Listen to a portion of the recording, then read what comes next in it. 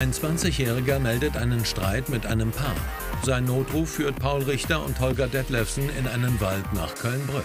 Hallo. Hallo, Polizei. Hallo. Ja. So, Hi. was ist der Grund des Wer Streites? bist du eigentlich? Denn Der hat uns mit einer Drohne gefilmt. Der, das ist mein Ex-Freund, der verfolgt mich oder so. Das ist doch ekelhaft. Stimmt nicht. Ich habe sie angerufen, äh, weil der junge Mann, der junge Mann, der hat meine Drohne kaputt gemacht. Ich habe gar gar nicht. nicht. Ich, hab, ich, bin hier, ich bin ja nur ein bisschen unterwegs, wollte die Landschaft ein bisschen filmen. Und da hat der junge Mann mit, den Drohnen, äh, mit der Cola-Dose gegen meine Drohne geworfen. Ich habe gar nichts. Ich habe nicht. gar nichts geworfen. Ich Wo hab ist die Drohne denn gelandet? Äh, die Drohne liegt hier oben drauf, auf dem Dach. Da funktioniert aber auch gar nichts mehr. Die ist hinüber. Also Sie, Sie können das Ding nicht mehr steuern, ja? Nee, gar nicht. Okay. Äh, und die junge Dame oder der, die beiden Herrschaften hier geben aber an, dass Sie die beiden gefilmt haben. Ja, Ja, hat er auch. wir saßen da hinten auf der Bank und, und dann hat, der, hat dieser Typ hier uns gefilmt. Richtig pervers. Äh, Nein, das okay. stimmt nicht. Ich war hier im Wald Ja, unterwegs. genau, ich wollte meine neue? Drohne testen, genau. Okay, und dann haben Sie die Drohne äh, beworfen oder ist die runtergekommen? Nein, ich habe Nein. gar nichts beworfen. Wir, Wir, wollten eigentlich. wir, sind, wir wir wollten wollten, davon weggehen einfach. Das ist total gruselig, wenn sie da einfach in Ruhe sitzen sieht die wollen. jetzt ja auch nicht aus, ne? wir wollten einfach nur aufstehen und dann wollten wir weggehen wegen dieser Drohne, weil wir die gesehen haben. Oder haben Sie nur die Funkverbindung verloren? Das Ding ist von alleine. Nein, ich habe ich hab alles probiert, das geht nicht. Ich habe das auch auf Video. Man, man sieht das ganz genau. Okay, können Sie das Video jetzt über das äh, äh, Panel hier abspielen? Ja, oder, das, das ist gespeichert. Ich kann das jederzeit laufen lassen. Was auch immer auf dem Video zu sehen sein wird. Die Kommissare halten es für einen merkwürdigen Zufall, dass der Drohnenpilot ausgerechnet dort filmt, wo sich seine Ex-Freundin aufhält. Ich wollte mir das hier ein bisschen mal anschauen mit der Drohne, die Qualität des Bildes.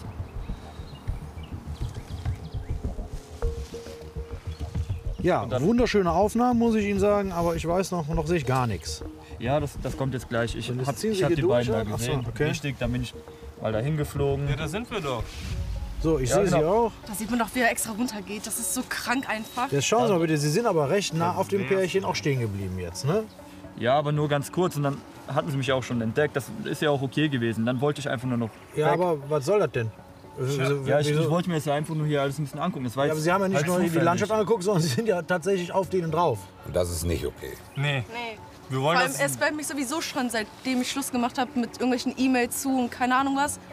Dann habe ich einmal geantwortet, um ihm klarzumachen, Ähm, dass ich nichts mehr will. Ja, aber ich, ich sehe, ich Da- sehe. Da ist noch jemand, der ist mir vorher gar nicht aufgefallen. Den habe ich jetzt gerade Haben Sie auch das gesehen. gesehen? Ja, ich habe das gesehen. Der stand aber an der Hütte da hinten, ne? Und an der Hütte ist die Drohne auch abgestürzt, wie Paul Richter auf dem Video sieht. Das Paar ist also unschuldig.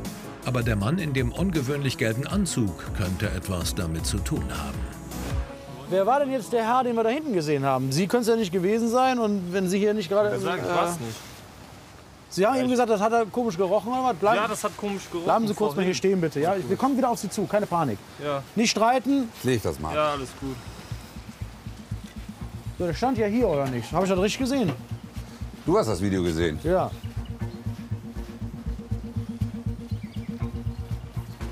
Der war ja nur wirklich auffällig gekleidet. Was hat er denn angehabt? Hier Ich habe nichts gesehen. Äh, so einen gelben äh, Chemieanzug. Chemieanzug? Ja, wie so ein. Äh, was ich meine? Ja, ja, ich weiß, was du meinst, aber im Wald ein Ja, Chemieanzug? und, und Maske. Irgendwie, da- irgendwas hat er im Gesicht gehabt. Warte mal gerade. Wohl riechen tut's hier schon komisch. Was ist denn hier? Nicht. Ist alles verhangen.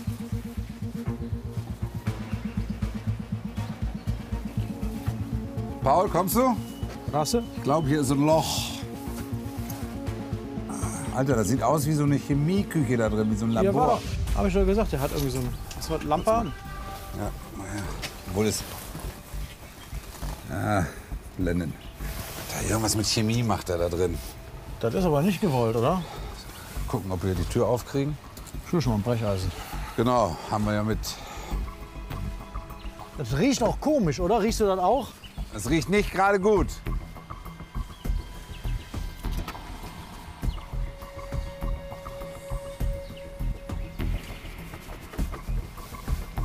Das Kufus?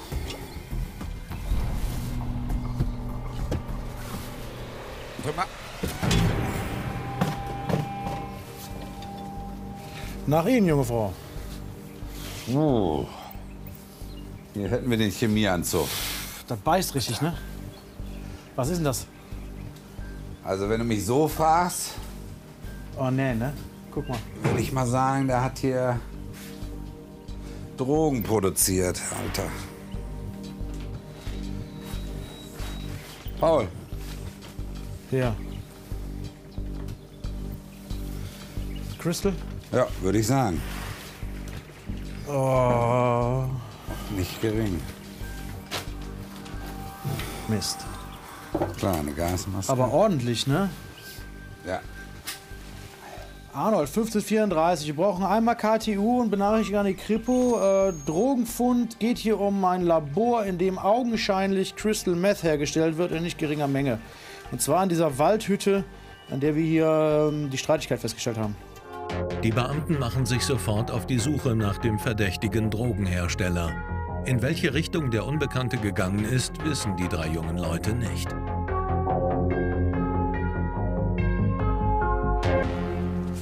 Jetzt können wir hier natürlich weit laufen. Da Da hinten kommt einer. Ist zumindest irgendjemand, den können wir mal befragen. Kann das denn der Förster sein? Sieht zumindest aus wie ein Förster oder ein Jäger. Hm? Ja, eine Knifte, ne? Ja, ja, hat er. Begrüßen. Grüße Sie auch.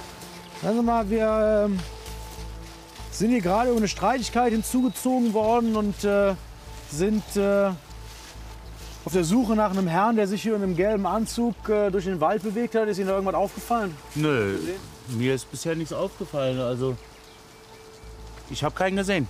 Ja. Sind Sie der zuständige Jäger hier?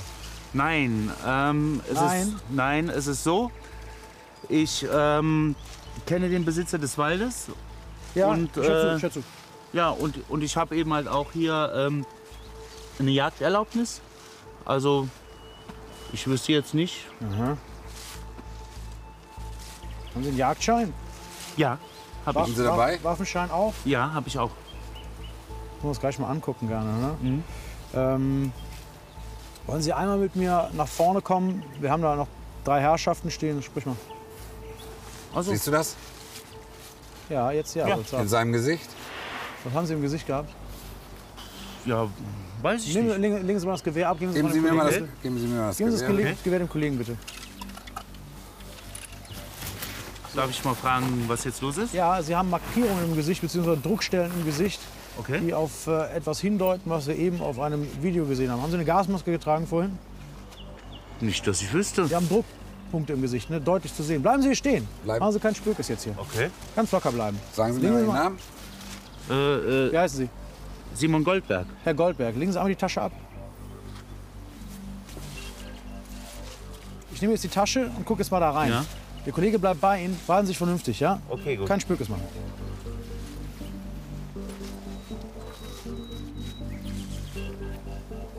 Ist da irgendwas drin, wo ich mich dran verletzen kann? Nö.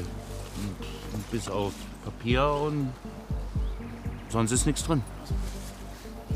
Ja, ist ein riesengroßes Missverständnis.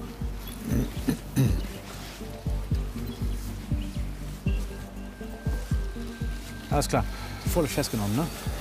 Lassen Sie ganz locker. So, glaube ich. Die Hände festgenommen. Ich nehme mal an, Crystal Mess in der Tasche. Ja? Ich gehe schwer davon aus. ja.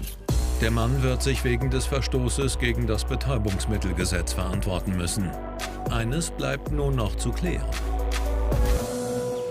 Ähm, das Video, haben Sie es gelöscht?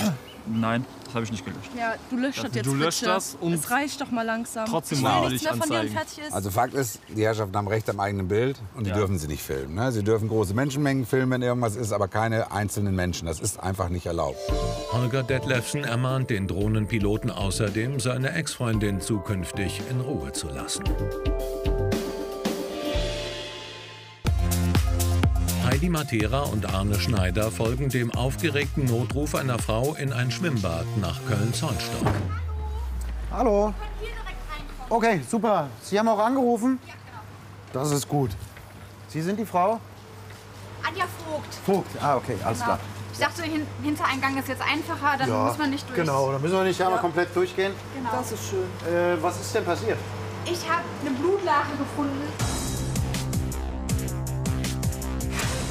Okay, so wie ich es Wir gucken mal. Ja. Okay. Okay. Sonst noch irgendwas aufgefallen? War jemand hier? Haben Sie hier jemand gesehen? Gar nicht. Also wir sind ja relativ früh Ja. am Morgen heute. Es ist noch nicht allzu viel los und deswegen ähm, habe ich mich selber gewundert. Es hat sich niemand gemeldet, es hat sich niemand verletzt. Okay. Also Sie haben kein, ist keiner zu Ihnen gekommen, dass er sich verletzt hat oder Nein, irgendwie sowas eben. geschnitten oder ich sag mal in der Dusche, hier kann man sich jetzt... Also ich kann es mir nicht erklären. Das riecht aber so ein bisschen süß, oder? Findest du nicht? Wie so ein also- Sirup. Ja, als wir in die Dusche gegangen sind, da habe ich mir gedacht, na gut, das sieht jetzt aus wie Blut. Es war aber doch eine andere Konsistenz. Ne? Und ich meine, ich bin ja die hessische Miss Marple, mir fällt das gleich auf. Nee, aber es hat auch ziemlich süß gerochen und es war so ein bisschen babbisch. Also es war ganz anders als Blut. Kann es sein, dass hier jemand irgendwas verschüttet hat, irgendein Getränk oder wie so ein Sirup? Weil das, Ähm. das ist auch so ein bisschen babbisch, wenn man drauf tritt. Als Anlass in der Dusche wäre es ja sehr merkwürdig. Ja, aber sonst ist ja nirgendwas, ne? Können ja noch mal um die Ecke gucken, vielleicht steht ja noch einer oder hat Probleme. Fischsaft oder so, ne? Ja, so babbisch auch, ne? Ja. Das ist merkwürdig. Okay. Da kann mich doch niemand verarscht haben, oder? Ich meine, Ja. das ist ja jetzt ein bisschen... Ich habe einen Schrecken bekommen. Also, Ja, gut, das sieht ja jetzt erstmal auf den ersten Blick schon brutal aus. Obwohl bei wenig Blut sieht es auch aus, als wäre da jemand abgeschlachtet worden. Das Okay, also das konnte ich jetzt nicht einschätzen, Ja. inwiefern das... Ähm, ist ja auch richtig. Also kann ja auch sein, dass was, was passiert ist. Die Beamten vermuten, dass jemand die Angestellte mit dieser Aktion ablenken wollte und überprüfen deshalb die Kasse. das gibt's doch gar nicht. Die Kasse ist tatsächlich leer. Ge Gehen Sie mal weg, nicht, dass Sie da... Äh, Und sogar, und sogar mein Ring. Ich, ich habe dort immer meinen mein, mein Ring von meinen Eltern, also. Und der mir echt viel bedeutet und der ist auch weg. Ich schließe ihn immer dort ein, das okay. kann doch nicht sein. Ähm, die Kasse wird nur durch den Schlüssel hier jetzt geöffnet, oder was? Äh, Guten Tag. Guten Tag. hey Gerd, wir wurden bestohlen. Die Kasse ist leer, verdammt. Mann, Sie was soll man denn jetzt machen? Wer ist, das ist jetzt Das ist der ja noch Kollege, nie der mit vorgekommen hier. Hat, oder was? Ja, genau. Ja? Ich bin ja Bademeister. Ah, ja. Okay, also die Kasse wird jetzt nur durch den Schlüssel geöffnet hier. Ja, genau, Der steckt, der steckt immer. Oder muss man, ist der, liegt der irgendwo? Eigentlich immer verschlossen, klar. Das muss ja zu, vom Funkenzugriff. Gut, für uns ist jetzt wichtig, wer weiß, wer weiß oder wer kommt an den. Schlüssel hin jetzt? Ähm, Ja. oder steckt er immer? Weil dann kann es ja jeder sein, wenn jetzt nur bestimmter Also wir verstecken den Schlüssel immer. Eigentlich, eigentlich wissen nur wir, wo der ist. Gut, das Ihr schränkt ja jetzt den Personenkreis dann ein. Naja, gut, ich sag mal so, also wir sind ein bisschen nachlässig geworden. Ja. Wir packen den halt immer hier unten ins Regal. Also Okay, ich aber weiß, wir sollten den anders verstecken, aber Ja. Aber das ist doch nie gewesen. Das gibt's ja nicht. Okay. Ist die Kasse offen, wo du gekommen bist schon, oder wann hast du das mein letzte? Ring ist sogar weg. Also mein privater Ring. Außerdem fehlen 200 Euro in der Kasse. Womöglich hat ein Gast beobachtet, wo die Angestellte den Schlüssel aufbewahrt. In letzter Zeit äh, ist mir eine Person doch schon ins Auge gefallen, hier auch die vom Verhalten her auffällig war, weil der war sonst, ne, der war sonst nie so oft hier. Das ist ein Stammgast. Oder? Ja, und der kam auf einmal so, ich sag mal, die letzten zwei, drei Wochen war der fast jeden Tag hier. Der kriegt Und, das, und der hat jeden, jeden Schritt hier, das ist mir sofort aufgefallen, ist egal, wo ich hergegangen bin, hat der beobachtet. Ich weiß nicht, wie er heißt, dieser etwas bräunere, da wo du immer, wie heißt er? Ja, genau. Ist der gerade Der da? war in letzter Zeit, der ist der heute da. oft hier, der ist. Der ist heute da. Auch. Ja, ich habe ihn vorhin schon gesehen. Wo können wir den denn, wie heißt der junge Mann da, den Sie vielleicht sehen? Silvan, also er ist ein Saunagast, also wird er bestimmt in der Sauna sein. Nehme ich Okay. mal Gehen an. wir mal dahin, ja, in der Ich Sauna. gesehen. Wer will vorgehen von Ihnen? Gehen Sie mal, weil da ist doch vorhin ja einer rumgehüpft. Ja, ja. Da liegt jemand drin, raus. Hol mal raus, ich rufe einen Notarzt. Kommen Sie mal raus. Geht's Ihnen gut? Hallo? Hallo? Hallo? Also, die ist nicht wirklich ansprechbar. Können wir Sie mal raustragen hier aus der Hitze? Wollen Sie mal die Füße anfassen? Andi, ich hol gleich einen Notarzt. Ja. Ganz langsam. Wir lassen Sie auf jeden Fall erstmal Okay, hier jemanden. rausbringen. Okay. Alles gut, alles gut, alles gut. Ich, ich, Okay, wir legen Sie erstmal auf die Seite. Wir drehen Sie nach links, weil sie hat rechts eine Kopfverletzung. Ja. Zumindest, Wir zumindest. bräuchten ein paar Rettungskräfte. Und zwar, wir haben hier eine lebende Person aufgefunden in der Sauna, überhitzt, anscheinend auch mit einer Kopfverletzung. Die Ordnungshüter fragen sich nicht nur, wer die Frau in die Sauna eingesperrt hat, sondern auch, warum jemand so etwas tut. Zeitgleich hat eine Person auf der Wache Köln-Mühlheim die volle Aufmerksamkeit der Polizei. Clara Ortega kümmert sich um ein Baby. Eine Melderin hatte bezweifelt, dass es das Kind eines 35-Jährigen ist. Ja, die Mama müsste ja auch gleich kommen. Wie hat sich die Situation jetzt denn gerade da im äh, Supermarkt dargestellt? Ja, also wie jeden Donnerstag Ja. ähm, gehe ich mit meiner Kleinen Rosa immer einkaufen, Ja. weil ihre Mutter gerade da bei der Arbeit ist und äh, sie quengelte heute irgendwie und ein bisschen mehr als sonst und war ein bisschen lauter. Dann schaute uns diese Dame immer wieder komisch an und ich fragte mich dann, ja, was ist denn da los? Kümmerte mich aber immer wieder um die Kleine und Ja. ja, und dann kam sie doch schon und äh, ich kann auch jetzt die Situation gar nicht verstehen, was da genau Ja, mir das- gerade vorgeworfen wird. Ich muss gestehen, das ist tatsächlich relativ ungewöhnlich. Warte. Ja, warte. Ja. Also es geht tatsächlich darum, das haben Sie ja mittlerweile mitbekommen, ähm, dass die Dame anzweifelt, dass es tatsächlich sich um ihr Baby handelt. ist ja wohl eine Frechheit. Ja, wissen Sie, Herr Müller, ob Ihre Frau schon verständigt wurde? Ähm, ich denke schon. Also ich hatte Ja. ihr vorhin eine Nachricht geschrieben, als wir unterwegs hierhin waren. Aber ähm, sie müsste eigentlich jeden Augenblick hier sein und die ganze Situation auflösen. Ja, ich hoffe. Die bringt ja dann auch die äh, Geburtsurkunde der Ja, Kleinen genau. mit, damit was. Also es, im Prinzip muss ich ehrlich sagen, es tut mir schon fast leid, dass wir hier so ein Bohai darum machen. Ja? Peter, ich habe hier die Ehefrau von dem David. Ah, Müller. super. Kommen Sie Wie doch bitte geht's dir? rein. Alles okay? Alles gut. Ja. Nee, David, alles Wo gut. ist die Kleine? Ja, die ist drüben bei der Polizeikollegin und... Ja, ja, die ist bei meiner Geht's Kollegin in der Küche. Oh, da hat ja jemand Hunger. Die Mutter des Babys ist in Begleitung ihres Bruders auf der Wache. Peter Rothmeier studiert die Geburtsurkunde des Kindes. Stimmt alles überein und dementsprechend können wir die Situation hier runterfahren und allen einen schönen Tag wünschen. Hier in dem Fall ist es ja so, dass äh, wie nicht zusammengepasst hat, dass hier ein hellhäutiges Baby da ist mit einem äh, dunkelhäutigen Vater. Ob es jetzt ein Generationsproblem weiß ich, äh, ist, weiß ich nicht. Aber ich denke, im heutigen Europa ist sowas auch gar nicht ungewöhnlich. Geleitest du die Herrschaften vielleicht nach draußen? Ja. Wenn nicht, dann kann ich mich wieder hier... Alles klar. Danke, dass Sie es aufgelöst haben. Ja, bitte, nichts zu danken. Den Fahndungs... Ähm, Clara, Ja. Der Herr bleibt mal bitte bei mir. Äh, ich muss Sie zu einer Sache befragen. Das ist was Aktuelles von gestern. Es wäre nett, wenn Sie einmal Platz nehmen würden und mir Ihre Personaldaten angeben. Ich brauche Ihren Personalausweis. Entschuldigung, worum geht's denn hier? Das kann ich Ihnen jetzt so nicht eröffnen. Sie sind Angehörige, der Herr ist volljährig. Ja, ich bin aber die ältere Schwester und Ja. ich würde gerne wissen, worum es hier geht. Da kann er selber entscheiden. Wenn Sie gerne hätten, dass die Schwester dabei Ist ist. okay, dass ich hier bleibe? Ich weiß nicht, was los ist, klar. Setz Ja, dich. komm. Dann, Dann lass nehmen ich Sie- hier einen Mann im Flur warten so lange. Ja, ja, der soll dann einmal Platz nehmen. Ja, ja, Alles klar. Mach das. Dann nehmen Sie hier Platz. Könnt ihr einmal die Tür schließen, bitte? Danke. Jo. Herr Becker, Ja. ich habe hier einen Fahndungsaufruf vom gestrigen Tag wegen Diebstahls. Bitte? Ich weiß selbst nicht, was los war. Ich war bei Freunden oder so, Bei keine Ahnung. Freunden? Ja. Hast du Geldsorgen? Nein, alles gut. Wir hatten die Vereinbarung, wenn dein BAföG nicht reicht, sagst du mir Bescheid. ja, ich weiß, alles gut. Also es ist tatsächlich, ist es okay für Sie, wenn die Schwester dabei ist? Ähm, Ja. Weil ich, Worum- worum geht's denn Es geht jetzt überhaupt? um Details. Ne? Also es ist tatsächlich ein Diebstahl angezeigt worden. Sie sind der Tat, als Tatverdächtige angegeben worden. Und ähm, es ist eine nicht unerheblich geringe Menge an Bargeld entwendet worden. Es ist Schmuck entwendet worden. Also ähm, da ist schon ein gewisser Wert vorhanden. Deswegen auch der Fahndungsaufruf nach Ihnen. Ähm, und die Geschädigte hat einen Professorentitel. Ja. Hilft Ihnen das eventuell weiter in der Gedächtnisfindung? Du bist zufällig Student. Ja, Jetzt rück raus mit der Sprache. ja, da könnte was sein, aber Was denn? ich möchte das bitte mit Ihnen alleine besprechen. Kannst Warum? du kurz rausgehen? Hast du Geheimnisse? Nein, aber Ich muss auch ehrlich gestehen, das geht Sie jetzt auch tatsächlich nichts an. Ja? Der Herr ist, auch wenn er Ihr Bruder ist, äh, volljährig. Und dementsprechend werden wir die äh, Unterhaltung alleine fortsetzen.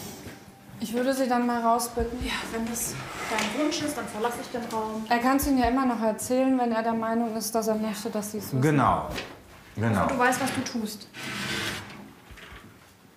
Sie können sich ja zu Ihrem Mann setzen. Genau. Super. Dass wir einmal hier alleine sind. Dann denke ich mal, der Herr Becker kommt jetzt raus mit der Sprache.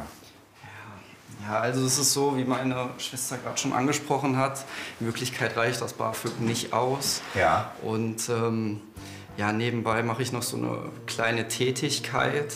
Also, Als? Ja, ist ein Escort-Service für ältere Frauen. Okay. Und ähm, diese Frau Dr. Dana, die ähm, die ist auch eine Kundin von mir. Und ähm, ja, die hat sich in mich verliebt und Ja. das, war, das war einfach alles zu viel. Und dann habe ich den Kontakt abgebrochen. Der Callboy vermutet, dass seine Uni-Professorin sich für seine Abfuhr rächen wollte und ihn deshalb des Diebstahls bezichtigt. Die 52-Jährige fragt nach, ob der Dieb schon gefasst wurde. Peter Rothmeier nutzt ihr Auftauchen für eine Konfrontation. Ich möchte aber noch mal zu Ihnen zurückkommen. Wie gesagt, ein Alibi hätte er. Auf der ganzen Grundlage Escort-Service. Dann hat er uns auch noch gerade gesagt, Sie hätten ihn, dann haben Sie ja gerade, Sie hätten sich so ein bisschen in ihn verliebt. Ja? Und bevor wir jetzt hier in die in die Bredouille kommen und eine Straftat vortäuschen, Ja, mein Gott, es, es ist gerade beschämend für mich. Es tut mir sehr leid und ich habe das so auch nicht gewollt. Ich, Jan, ich habe dir angeboten, ich kann dich auch finanziell unterstützen und ich habe gedacht, das beruht irgendwo auf Gegenseitigkeit, dass du mich auch liebst und du bist so ein toller Junge und äh, deine Noten sind super und dir steht die Welt einfach noch offen. Ich habe gesagt, du sollst oder musst diesen Job nicht mehr machen und du weißt, ich habe mich in dich verliebt und ich möchte nicht, dass du dich weiterhin mit anderen Frauen triffst. Ja, und dann kam mir halt diese Gelegenheit, ich will ihn anzeigen, deswegen war ich jetzt eigentlich hier. Ich wollte noch mal mit ihm sprechen und unter vier Augen ihm noch mal eine Chance geben, dass er es vielleicht noch mal bedenkt und äh, dass er uns auch eine Chance gibt und dass ich dann die Anzeige zurückgezogen Aber hätte. wenn Sie ihn doch wirklich lieben würden, dann ist das doch gar keine Option, jemanden anzuzeigen. Ich hatte keine andere Möglichkeit. Es war eine Kurzschlussreaktion, ähm, die halt in meinen Kopf gestoßen ist und äh, ja, habe halt überreagiert. Die Professorin des Studenten wird wegen Vortäuschens einer Straftat und falscher Verdächtigung belangt. In Köln-Zollstock stecken Arne Schneider und Heidi Matera noch mitten in ihren Ermittlungen. Ein Unbekannter hat die Kasse eines Schwimmbads geplündert. Noch dramatischer ist jedoch, dass eine ältere Dame in der Sauna eingesperrt war. Hallo, hier, sie hat, äh, lag hier in der Sauna, die Tür war verbarrikadiert. Wir wissen nicht, wie lange sie drin lagen und sie hat eine äh, Wunde hier am Kopf. Ja, ich mache einfach mal Platz. Ja, also haben sie gerade erst rausgeholt. Okay? Kann auch ganz schnell nach hinten losgehen. Okay, gut, das ist natürlich. Das ist mal in letzter Sekunde, wer weiß, was da noch passiert wird. Wer weiß, wie lange der schon drin liegt. Ne? Ähm, ich sag mal, die Platzwunde am Kopf sieht jetzt schon aus, als wäre sie niedergeschlagen worden, Ja, behaupte ich ja. jetzt einfach mal. So, Und ich sag mal, die ja. Situation, dass das einer zumacht, das ist ja jetzt auch. Ja, das ist ja seltsam. Also es sind definitiv ja nicht so viele Leute hier, haben sie gesagt. Ne? Ja, deswegen, also ja. So viel Einfach mal- Täterkreis haben wir ja dann nicht. Ich würde mal vorschlagen, vielleicht diesen Tätowierten mal zu. Also Sie haben jetzt hier aber nicht gesehen, weil Sie ja gesagt haben, Sie haben Aufguss aufgemacht. Das, Das ist schon einige Zeit her, das kann ich Okay. ehrlich sagen. Okay, gut, Gut, dann, dann- müssen wir auf jeden Fall Zeugen befragen hier. Ja. Also, Sie haben auch gar nichts gesehen. Ja, Sie haben jetzt nur die Blutlachen gesehen, hier haben Sie jetzt keine Ich bin jetzt gerade ganz durcheinander. Nein, aber nein, ich habe nichts gesehen. Also Dann bleiben Sie erstmal auch sitzen. Genau, bleiben mal hier, kümmern sich mit um die junge Dame und wir gucken mal, äh, wo dieser junge Mann ist. Genau, Sie sind jetzt Vielleicht ist er auch Zeuge. Wir haben hier diverse Vorfälle gehabt. Zum einen wurde die Kasse ausgeraubt, zum anderen äh, haben wir gerade eine verletzte Person ähm, gefunden in der Sauna, wo von außen die Sauna verbarrikadiert waren. Okay. Wir wollen Sie jetzt nicht sofort als Beschuldigten hier darstellen. Ähm, wir wollen Sie jetzt erstmal befragen, ob Sie was gesehen haben. Ähm, der junge Mann tendiert in Richtung, äh, dass Sie das waren. Deswegen, Was? Ähm, Ist ja wohl eine Frechheit sowas. ja, deswegen wir wollen jetzt erstmal Ich habe ermitteln. öfter mal, habe ich gesehen, die Leute beobachtet und sind häufiger hier zu Gast als wie sonst. Ne? ich bin seit einem halben Jahr Stammgast hier. Ich bin ab und zu hier zum Saunieren. Mir Okay, gefällt das gut, hier sehr also gut, der Laden. Wir wollen jetzt alle mal befragen, das ist Ja, ja, genau. klar. Wir, wir wollen ja nämlich, machen wir es mal so, wir gucken jetzt mal in ihr Fäsche. Und in dem Spind des jungen Stammgasts entdecken die Polizisten Interessantes. Also wir haben in einer Dusche haben wir Kirschsaft gefunden. Ja. Oder wir haben Sirup oder irgendwas Rotes gefunden, wo da verschüttet worden ist. Komisch, jetzt liegt es bei Ihnen da drin. Dann fehlt aus der Kasse Geld. Komisch, liegt da drin. So, ist ja auch Ihr Fach. Richtig, genau. Ist mein, Fach, mein Ausweis richtig. Und Sie sind jetzt gerade aus der Sauna gekommen, sind hier rein und sperren auf, ne? Also Sie sehen schon ein, dass es jetzt ein bisschen blöd ist. Gerade Ich, für ich Sie. komme ja, gerade also ich selber blöd mal- vor. Ich bin sehr überrascht. Sie, Ja. Wo waren Sie denn jetzt, äh, wenn wir jetzt die letzten, letzte halbe Stunde mal aufdröseln? Ja, die Dame ist jetzt wieder ansprechbar, wenn er Fragen hat, ja? okay, dann kommen wir, erst, kommen wir gleich zu Ihnen. Sie können ja, Ja. mit in die Richtung kommen. Ja. Ja, Sie äh, bleiben kurz auf jeden Fall in der Nähe. Wir würden jetzt Ja. erstmal kurz Gehen die vor. befragen. Okay, Ihnen geht es wieder einigermaßen gut. Ja. Können Sie mir erzählen, was passiert ist? Weil ich sag mal, Sie sind verletzt am Kopf und Sie waren in der Sauna eingeschlossen. Was, wie kam das zustande? Ja, das weiß ich echt nicht. Wissen Sie ich nicht? war kurz vorne an der Kasse. In dem Thekenbereich da hinten, wo das Ja, Essen verkauft wird. genau. Ja. Ganz Okay, und was ist da passiert? Ja, ich, ich weiß es nicht. Ich bin jetzt gerade hier. Hat Sie jemand geschlagen oder haben Sie jemanden gesehen im Kassenbereich? Ja, natürlich. Wen, wen haben Sie gesehen da? da war doch der nette Kassierer. Wer war der Kassierer? War das der? Kommen Sie mal gerade Ist das vor. er hier gewesen? Weil, Ach, Sie waren das. Sie, Ja. Sie erkennen ihn? Er war an der Kasse Ja, doch, das türkise Shirt. Ja, und dann? Das gefiel mir so gut. Er, er stand da vorne und hat äh, hektische Bewegungen an der Kasse gemacht und äh, Ja. Ich dachte, der sucht irgendwas oder Okay. Ja. und habe ihm sein, meine Hilfe angeboten. Aha, Okay. und dann? Dann, dann weiß ich nichts. Dann ist Dann dunkel ist- geworden. Ja.